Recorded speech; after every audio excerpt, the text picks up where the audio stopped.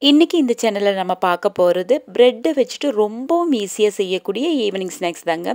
இதை விட ஈஸியாக ப்ரெட்டை வச்சுட்டு ஒரு ஸ்நாக்ஸு செய்ய முடியாதுன்னு தாங்க நான் சொல்லுவேன். அவ்வளவு ஈஸியாக இருக்குங்க இந்த ஸ்நாக்ஸு டேஸ்ட்டு பார்த்துட்டிங்கன்னா ரொம்ப சூப்பராக இருக்குங்க. நல்ல கிறிஸ்பியாக இருக்கும். வீடியோக்குள்ளே போகிறதுக்கு முன்னாடி இது வரைக்கும் என்னோடய சேனல் நீங்கள் சப்ஸ்கிரைப் பண்ணாட்டி சப்ஸ்கிரைப் பண்ணுங்கள் இந்த ஸ்நாக்ஸை ரெடி பண்ணுறதுக்கு ஒரு மிக்ஸி ஜார் எடுத்துக்கலாங்க. அதில் வந்து ஒரு நாலு டு ஒரு அஞ்சு ஸ்லைஸு ப்ரெட்டு துண்டுகளை இந்த மாதிரி நம்ம பிச்சு போட்டுக்கலாம்.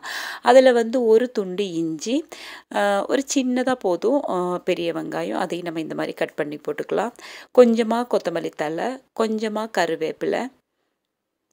காரத்துக்கு ஏற்ப பார்த்துட்டிங்கன்னா ஒரு ரெண்டு பச்சை மிளகா நான் போட்டிருக்கேன்.